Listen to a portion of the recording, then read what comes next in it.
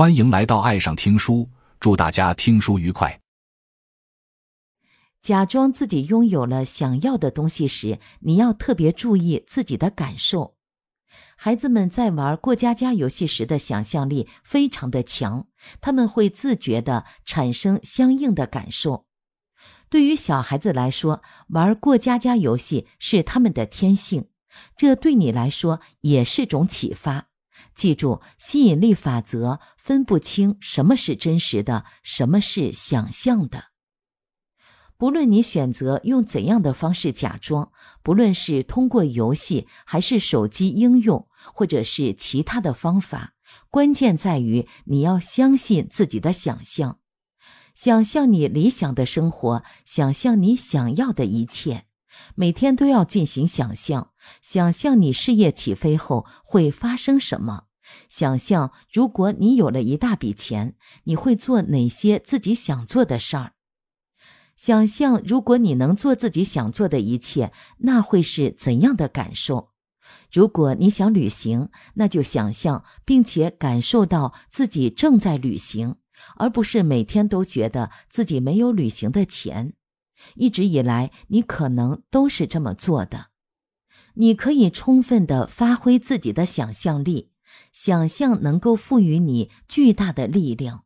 让你自己相信，你正在接收到自己想要的一切。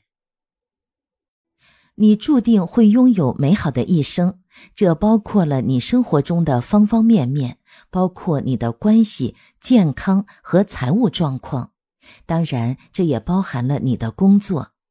你的工作应该是充实的，为你带来快乐的。你应该在职业生涯中完成自己想要完成的一切。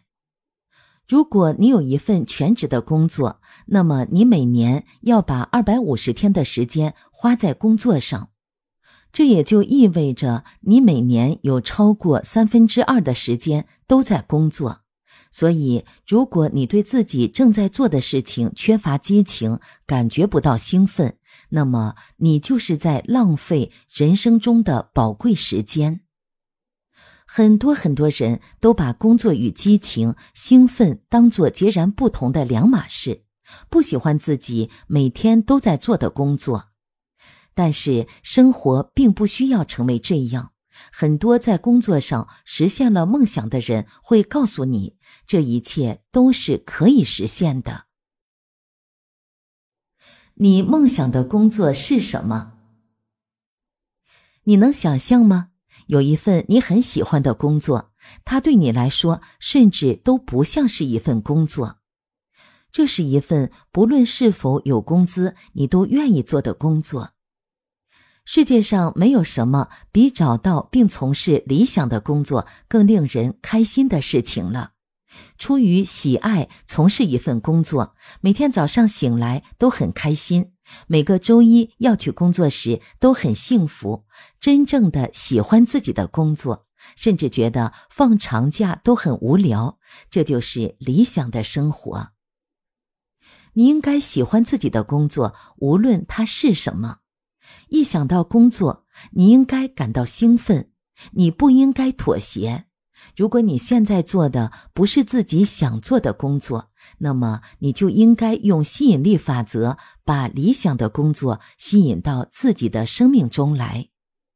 如果你想吸引来理想的工作，一定要记得吸引力法则是怎样产生作用的。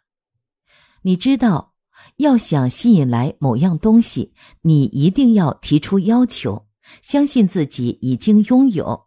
感觉到自己已经接收到了，不论是对你的事业，还有其他任何方面，这一点都是一样的。所以，如果有人告诉你你没有办法从事理想的工作，不要听他们的话。就像我之前说的那样，不论你是谁，不论你从哪里来，你都可以拥有自己想要的一切。做自己想做的事儿，成为自己想要成为的人。一名巡警希望升职成警司，成为管理人员。每次有相关职务空出来时，他都会提出申请。但总是被那些经历和资质都不如自己的人比下去。他在笔试中获得的成绩非常的好，却总是在面试中被淘汰。他知道这是因为有一个面试官不喜欢他。每一次参加面试的时候，他都觉得会输给不如自己的人。事实证明，他的感觉都是对的。然后，他的妻子把吸引力法则介绍给他，他知道了自己哪里做的不对。下一个岗位空出来的时候，他提出了申请。这一次，他相信自己会被选中的。他想象自己成为负责人，甚至私下里叫自己“警司”。对于自己的工作和每一个同事，他都表达了感谢。见到其他应聘者的时候，他都会祝对方好运，鼓励他们，告诉他们他们都应该获得升职。进入面试的房间后，他高兴地发现，那个不喜欢他的人并不在现场。他更加放松了，表现得非常好。他的自信、谦虚和领导力给面试官留下了深刻的印象。面试结束后，他笑着离开，轻轻松松地回到了家里，没有一丝一毫的疑虑和负面的情绪。当天晚些的时候，他接到了电话。他被提升为警司，就像他自己一直以来希望的那样，让理想的工作成为现实。如果你希望获得理想的工作，那就想想你希望这份工作是什么样子的，想想对你来说哪些事是重要的。比方说，你想做什么类型的工作？你希望在工作中有怎样的感觉？你想为怎样的公司工作？你想和怎样的人成为同事？你想每天工作多长时间？你想在什么地方工作？你想收到多少工资？好好的思考一下，想清楚自己究竟想要怎样的工作，把所有的细节都写下来，试着调动所有的感官。想象理想的工作或事业的方方面面，直到你真的感觉到你已经获得了理想的工作。勤加练习，你会发现，想象自己拥有理想的工作其实很简单。你能看到自己进入工作的场所，走进办公室的大门。你可以想象自己坐在办公桌前，或者坐在办公室里。打开电脑开始工作，你可以想象自己收到了工资，你的收入就是你希望的那个数字。如果你想象自己现在就拥有了理想的工作，你现在就会感觉很好，这也会让理想的工作尽快的来到你的生命中。就像其他所有东西一样，你不用操心如何接受到理想的工作或者事业，宇宙会让所有的人事物为你开路，以你无法想象的运作方式，让你实现自己的理想。所以，不要去管自己将如何接收到理想的工作，你只需要提出要求，并且感觉到自己此刻已经拥有了理想的工作。为了尽快的拥有理想的工作，你应当试着表现的就像是自己已经获得了这份工作。你可以有创意些，你可以发挥想象力，做很多很多的事情。比方说，你可以为自己设计一个新的抬头纸，或者是一张新的名片，上面写着公司的名字、你的职务、工作地点等等。我知道有些人自己制作录取通知书，上面详细的写着职务信息、工作任务以及工资收入。他们甚至还给自己写了几封祝贺的邮件，恭喜他们获得这么好的工作。然后他们通过了好几轮的面试，最后真的收到了录取通知。唯一不一样的细节是，工资比之前想的还高了一点点。你还可以计划自己的上班通勤路线，定好闹钟，根据你的新工作调整自己的日程安排，就像是你已经找到了这份新工作一样。一个刚刚毕业的大学生就是这么做的，他应聘了很多工作，但是都以失败告终。他意识到。这是因为他想的和做的并没有像是自己已经获得了这份工作一样，他的所思所想所为都在发出信号，他还在找工作。然后根据吸引力法则，他也会继续找工作。于是他决定要活的就像是自己已经找到了工作一样。他做的第一件事就是早起。他按照上班的时间给自己制定了日程安排，他还计划好了每天上班时要穿的服装，并且给自己开了一个用来存工资的银行账户。他努力提升自己的打字技术和电脑技能。每天下班后，他会和朋友们一起出去吃点东西，听朋友们谈论工作的事情。他也开始写日记。写下了自己理想工作的方方面面，他还写下了他有多么感谢同事和老板，他有多爱自己的工作。很快，他就相信并且感觉到自己已经开始工作了。两周之后，一个朋友给他推荐了一个很适合他的工作机会，他去应聘了，并且他头一次觉得自己能够获得这份工作，他是对的。最棒的是，重新打开笔记本时，他意识到自己写下的就是这份工作，这个工作场所。他真的把工作从想象变成了现实。找工作的时候，可以像这位女士一样，表现的就像是自己已经找到了理想的工作。欣赏你目前的工作。即使你现在不知道自己想做的工作是什么，有一件事可以让你尽快的获得自己理想的工作，努力做好你现在的工作。如果你知道自己想要做的是一份完全不同的工作，那就把自己所有的注意力都投注在你现在的工作上，努力做好它。如此，你的工作能力和表现就会超出目前工作的需要。很快，新的机会就会来敲门，你会获得自己想要的完美工作。但是，你也应该知道，如果你对自己当下的工作充满抱怨，只关注负面的事情，你就永远无法获得自己理想的工作。你必须在目前的工作之中找到值得感恩的点，你找到的每一个值得感恩的小事，都能帮助你吸引来更好的工作。与此同时，如果你对自己的工作心怀感恩，即使这并不是你理想的工作，事情也会开始发生变化。你会喜欢上自己的工作，你会发现各种各样的机会。升职、更多的钱、更好的创意和想法，你会更欣赏自己目前的工作。你会发现，凭着对这份工作的欣赏，你能在工作中找到更多值得感恩的事情。这是因为对工作心怀感恩时，你会自然而然的为工作付出更多。付出更多，你也会获得更多的金钱和成功。如果你对于自己的工作并不感恩，你会自然而然的减少对工作的投入。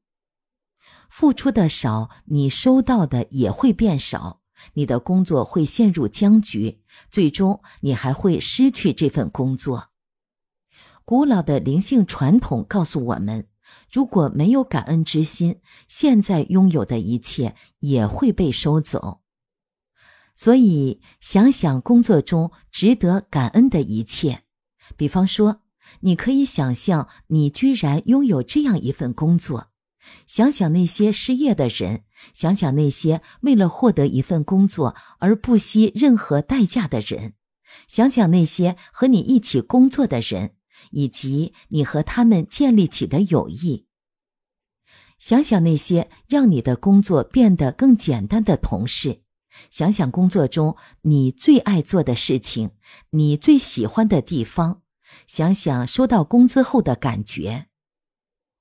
令人遗憾的是，大部分人即使在收到工资后，也并不快乐，因为他们总是担心这些工资不久之后就会被花光。他们错过了一个用感恩吸引来更多金钱的好机会。不论拿到多少钱，不论你收到的有多少，都要心怀感恩。记住，不论你感恩的是什么，他们都会成倍的出现。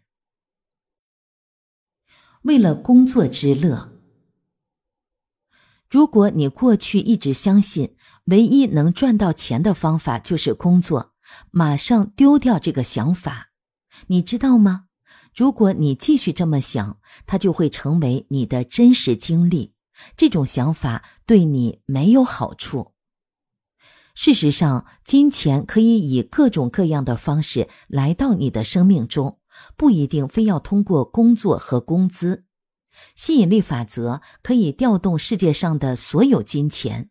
正确的使用吸引力法则，你就能吸引到金钱。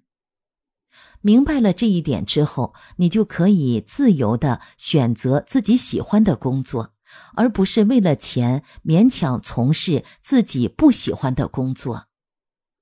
如果你做一份工作，仅仅是因为你觉得自己只能通过这种方式赚钱，你不喜欢这份工作，那么你就永远无法真正获得金钱，也没有办法获得自己喜爱的工作。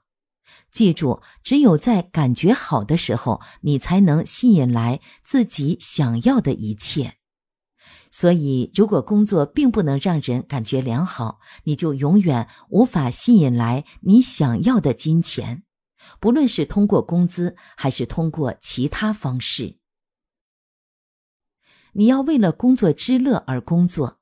你之所以工作，是因为工作能让你感到激动和兴奋。你要做你喜欢的工作。如果你喜欢自己做的工作，金钱就会流到你的生命中。可惜，很多人在生活中都受到了好心的父母、老师、社会，甚至是朋友和伴侣的影响。他们接受了一份自己不喜欢的工作，因为他们相信这就是他们应该做的工作，或者是他们觉得这是一份安稳体面的工作。或者是因为这个工作经历写在简历上会很好看，也许他们一开始很喜欢自己的工作，但是时间长了，工作变成了一种折磨。他们从稳定性的角度出发，选择了自己的工作。每天结束的时候，做一份你觉得自己应该做的工作，而不是一份自己喜欢的工作。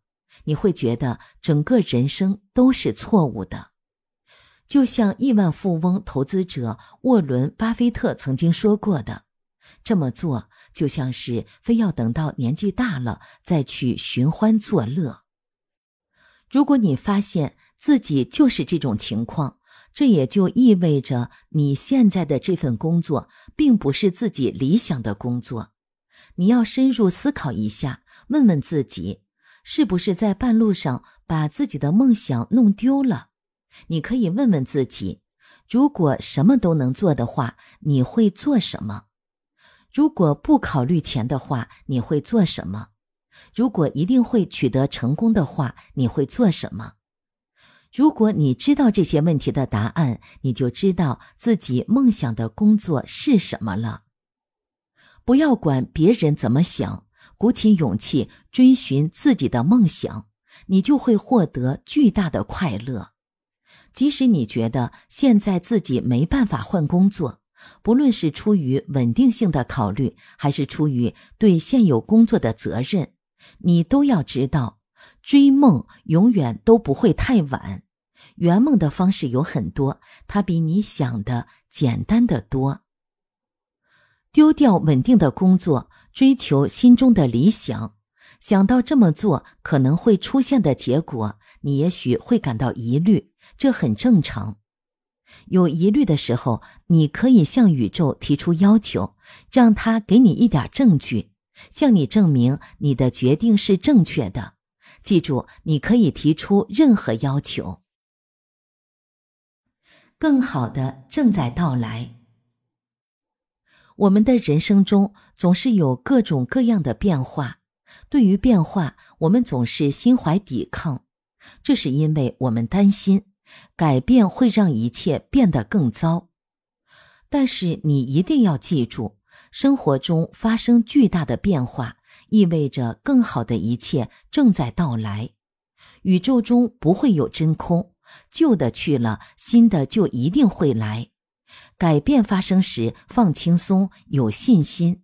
你要知道，改变都是好的，更美好的东西正在进入你的生命中。我之前在一家电视台做电视节目制作人，总是梦想着能拥有自己的电视制作公司，但是我做不到，因为我要养家，我的工作薪水很高。我们需要用这些钱买吃的、还房贷。虽然很多人都劝我创业，但我还是用尽全力想要保住自己的工作。然后我被炒了鱿鱼，我很震惊。我以后要怎么活？我们该如何支付女儿的学费？我们该怎么还贷款？我可以选择在另一家电视台工作，但是我受不了继续做一份自己之前一直在做的工作。我意识到被辞退后，我什么都没有失去，于是我就在自己家后院小屋里的塑料桌椅上构想起新的电视节目策划。我有一个创意，做了一个策划案，虽然我根本不知道该如何做策划案。但是我相信这个创意，于是我心跳加速，双腿颤抖，向一家电视台的领导阐述了自己的想法。我策划的电视节目当场就被定了下来。播出后，它取得了巨大的成功，成为连续多年播出的热门节目。被辞退后，我拥有了完美的创业环境，实现了自己的梦想。直到现在，我都很感谢当时电视台辞退了我。没有这个契机的话，我不会有勇气主动离职，也就失去了后来这一段激动人心、丰富多彩的人生经历。做自己的老板，对很多人来说，在职业生涯中追寻自己的理想，意味着他们要开办自己的公司，就像我一样。认识到其他人无法帮助你实现你的梦想，这是一个巨大的进步。你的老板、同事、客户，甚至是你的伴侣、家人、孩子，都不能替你过你的人生。你要对自己负责，创造快乐充实的人生。其他人没有办法替你做决定。到目前为止，你可能会想，开办自己的公司是不可能的。但是你必须丢掉已经形成的对自己的意见、信念、结论，因为就是他们，你才无法实现自己的梦想。不要和别人比，因为你拥有的潜力是世界上任何其他一个人都没有的。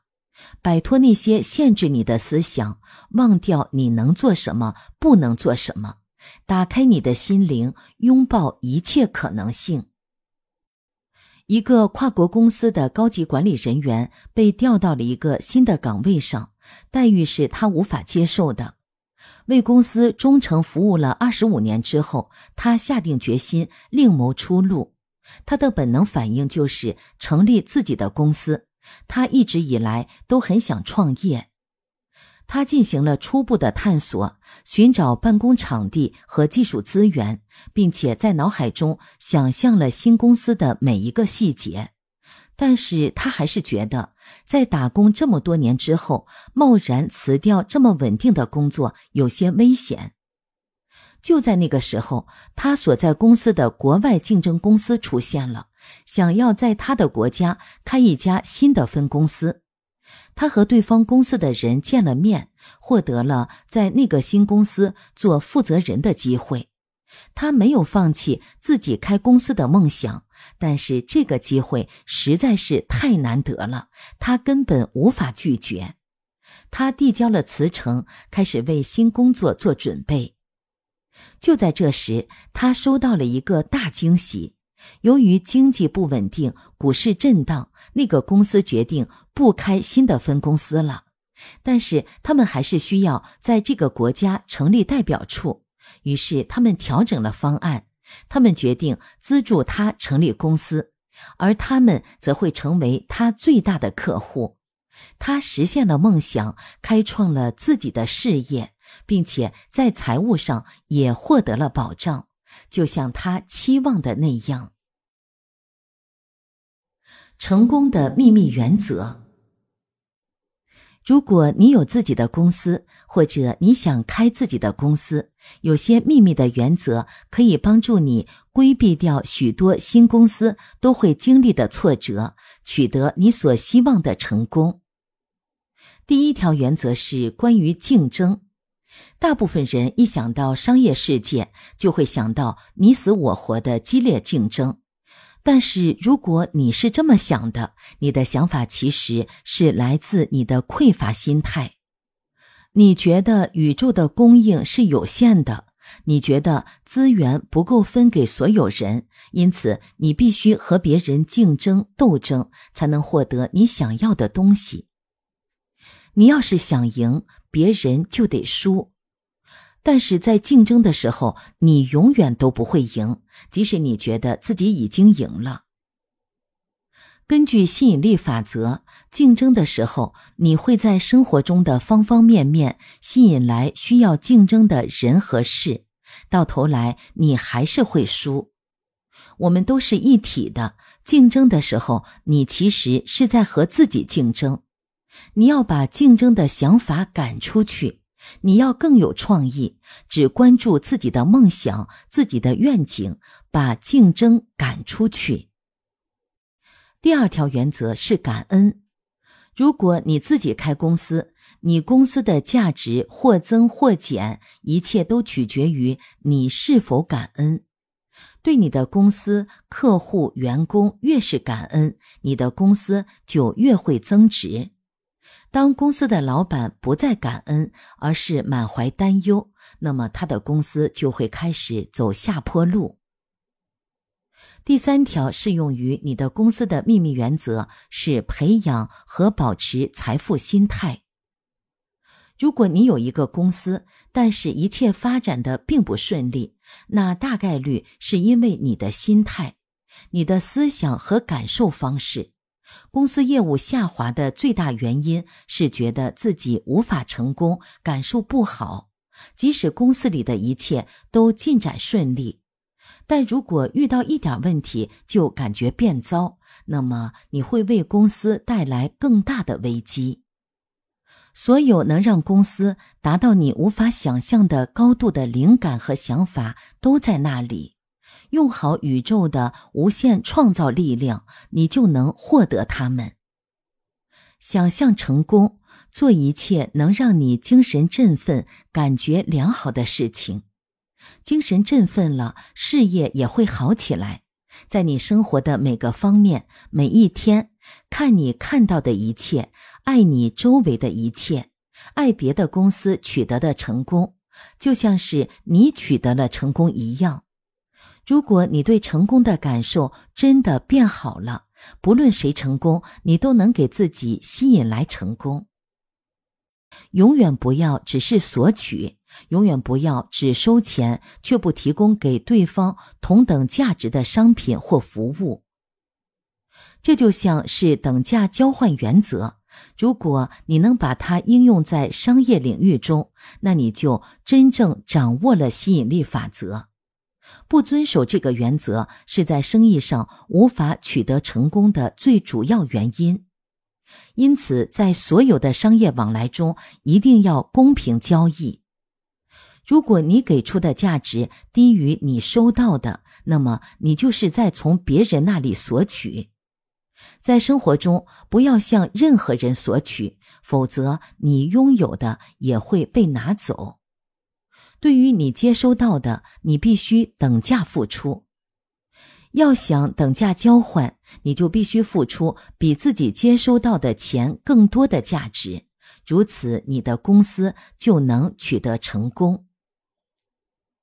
不论你是要自己创业、继续打工，还是追寻理想的工作，这一点都是对的。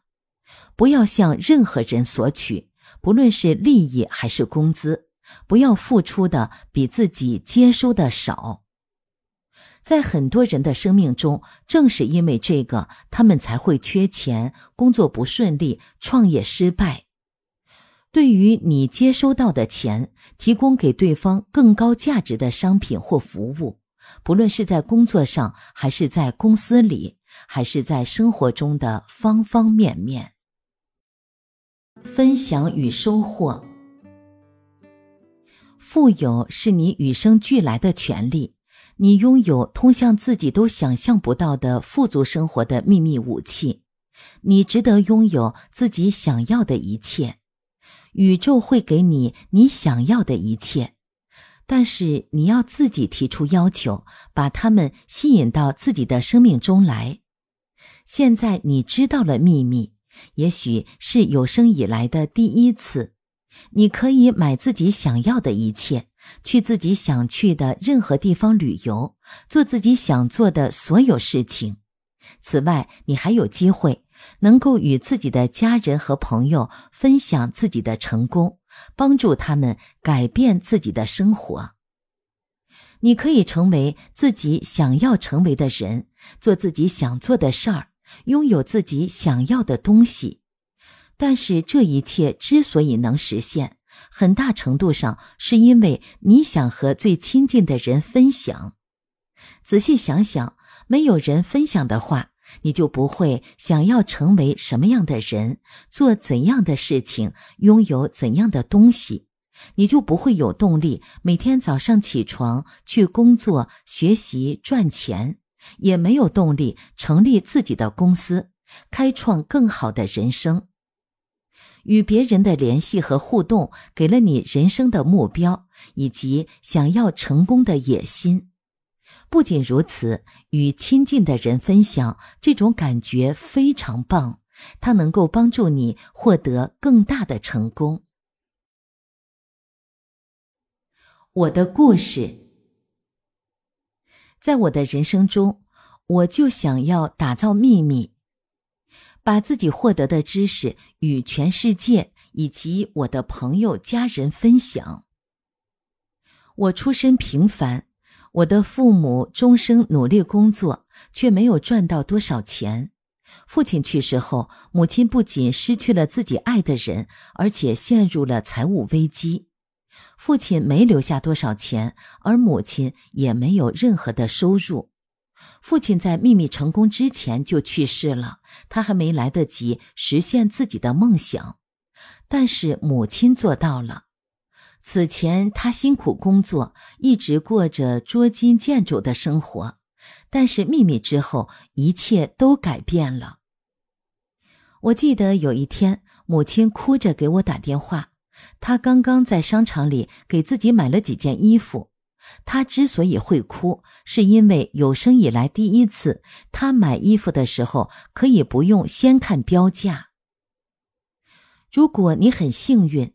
有一对为你的成长和幸福付出了一切的父母，你就会明白我当时是怎样的感受。我给母亲的无论如何都比不上她为我做的一切。回馈：如果你掌握了秘密，为自己的人生吸引来无尽的金钱，你会忍不住想要做出回馈。为别人的人生带来改变，你对他人会产生强烈的共情。不论做什么，不论付出多少，你都会想要付出更多。当你以自己想要的方式做出回馈时，不论是大是小，知道自己在帮助别人，这种快乐的感觉将常伴你左右。那种开心和快乐会让你质疑自己人生的意义。事实上，开心和快乐就是你人生的意义。什么会为你带来人生最大的快乐呢？付出。如果有人在很多年前跟我说，人生最大的乐趣就是付出，我是不会相信他们的。我会说，你这么说可以，但是我还要努力维持生计，辛苦赚钱，我没有什么可以付出的。在那个时候，我在金钱方面陷入了人生中的最低谷。我的好几张信用卡都透支了，房贷也还不起，公司欠债好几百万美元。但是我刚刚发现了吸引力法则，我知道只有让自己对金钱感觉好起来，才能吸引来金钱。这不简单，因为每一天我都要面对堆成山的债务，员工的工资发不出，还有很多账单付不起。于是我决定采取行动。我来到最近的自动取款机，从我仅剩的一张信用卡中取出了几百美元。我非常需要用这笔钱还账和买吃的，但是我还是把钱攥在手里，走到了一条繁华的街道上，把钱分给了街上的人。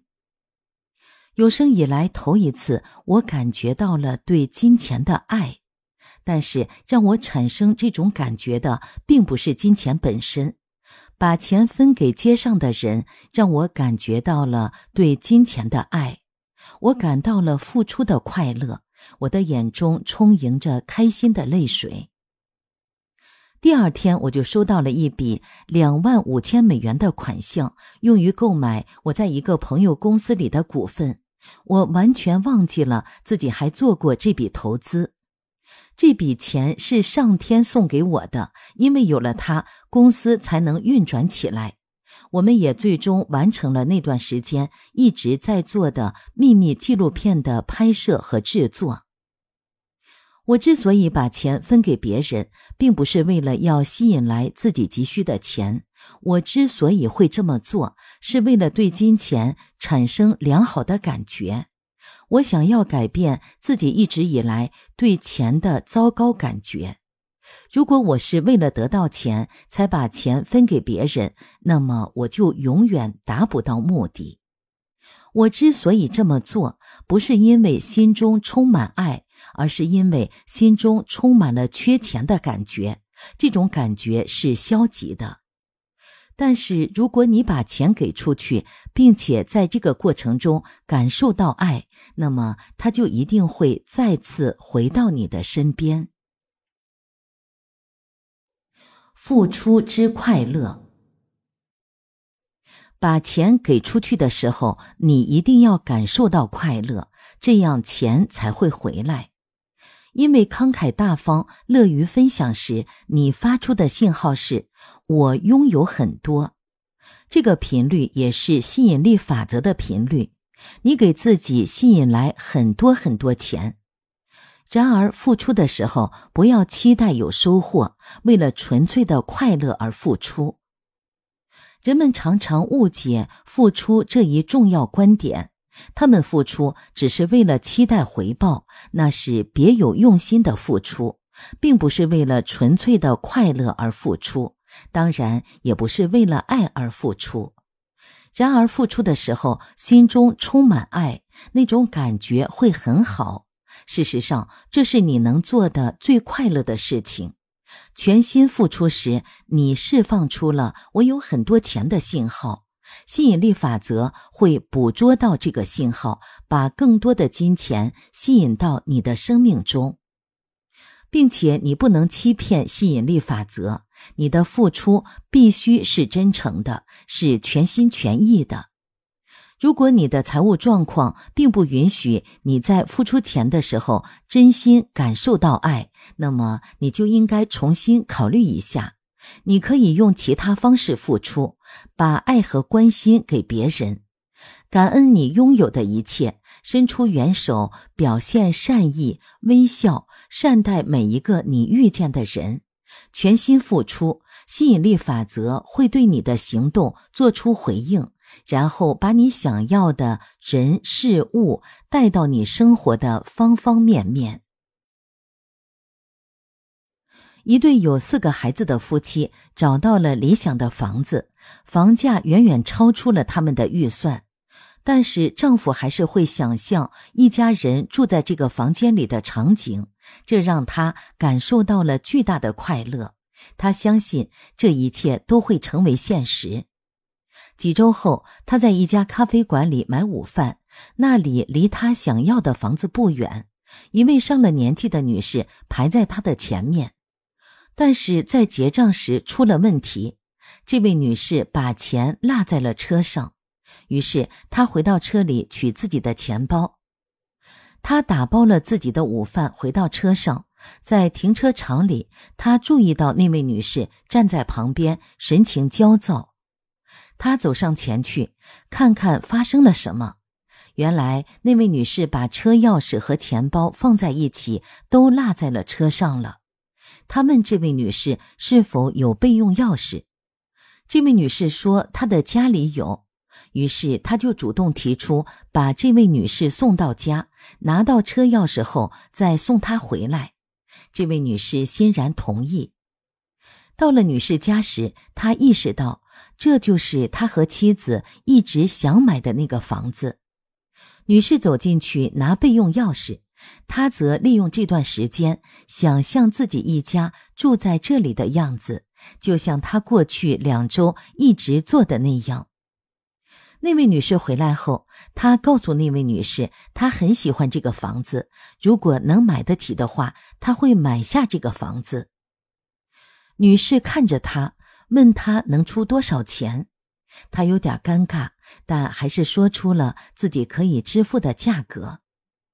女士静静的思考了一会儿，然后说道：“好吧，卖给你了。”他们马上定好了房屋买卖的各项条款，他就这样以优惠的价格买到了自己理想的房子。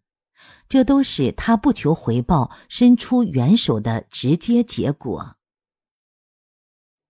你有很多付出的机会，他们能够为你打开接收的大门。说好话，微笑，欣赏和喜爱别人。事实上，你的爱、你的开心、你的积极、你的兴奋、你的感恩、你的激情，都是你人生中真正的、永恒的礼物。世间所有的金钱都不及这无价的礼物——你心中的爱。付出时，心中充满了爱。吸引力法则一定会为你带来你想要的、热爱的一切，带给你难以用言语表达的开心和快乐。总结：获得金钱的秘密。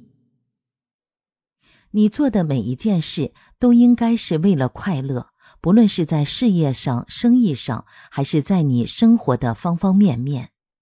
你人生的意义就是快乐，没有任何东西比快乐更重要，包括金钱。但是很多人把金钱放在快乐以及自己喜欢做的事情的前面，他们以为人生的意义就是赚钱，钱就是他们的上帝。不要错误的理解我的意思，金钱以及你买的所有东西都很棒。享受金钱和物质是世间最快乐的事儿，然而受到社会的影响，我们往往会以为积累物质的东西就是人生的意义。如果他们就是人生的意义，那么他们应该带给你真正的快乐、满足、充实。我们就不需要买其他的东西了。获得这些东西带来的快乐就会是永恒的，他们永远都不会溜走。如果人生的意义就是积累物质的东西，我们离开的时候就能把它们带走。你早上出门拿报纸的时候，会看到对面老乔的房子消失了，因为他把房子带走了。我们没有办法把物质的东西带在身边，因为它们不是我们。它们能带给我们世间的快乐，但是它们并不是我们人生的意义。当然，我们需要食物、房子、衣服以及其他能让我们人生更充实的东西。但是，对物质的追求剥夺了我们过上真正充实生活的自由。不要本末倒置，把财务安全和对物质的追求当成自己人生的意义。快乐才是你人生的意义。事实上，地球上的每一个人都想要获得快乐。人们之所以会渴望得到某种东西，那是因为他们觉得这会给自己带来快乐。不论是健康、金钱、爱情、物质、成就、工作，还是其他任何事物，你之所以想要得到它们，都是因为你想要得到快乐。然而，讽刺的是，快乐的时候，你会吸引来能为你带来更多快乐的人事物。快乐的事物就像是蛋糕上的糖霜，而快乐就是蛋糕本身。如果你还不知道该如何选择快乐，那么就去做你喜欢的、能给你带来快乐的事情。如果你不知道什么能带给你快乐，那就问问。我的快乐是什么呢？找到自己的快乐，关注快乐，吸引力法则就会为你带来无尽的人事物以及无尽的机会，为你带来快乐，因为你正在释放快乐。有趣的是，当你选择开心和快乐，而不是财务上的稳定时，你就会获得一切。不论是物质财富，还是开心快乐的人生，愿快乐常伴你左右。亲爱的朋友，到这里，这本书《秘密、爱、健康与金钱》就全部分享完了。这本书是秘密吸引力法则的运用践行秘籍。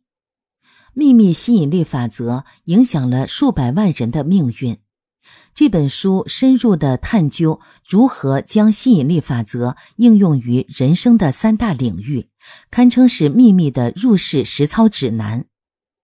通过学习和分享，我们可以获得个人的幸福、满意的关系、健康、金钱与成功。当然，这一切都需要我们知道如何运用吸引力法则。这便是三个步骤。一要求有清晰明确的画面，二相信并让自己感觉美好，三接收行动，并且愿意接收一切事物的到来。亲爱的朋友，让我们一起运用吸引力法则，让自己的人生变得更加美好，更加幸福、富足、自在。可以把这张专辑分享给身边更多的朋友，让我们都可以运用吸引力法则，使自己的人生更加的幸福、开心、喜悦和自在。本期听书就到这里，感谢收听，这里是爱上听书，带你听更多好书。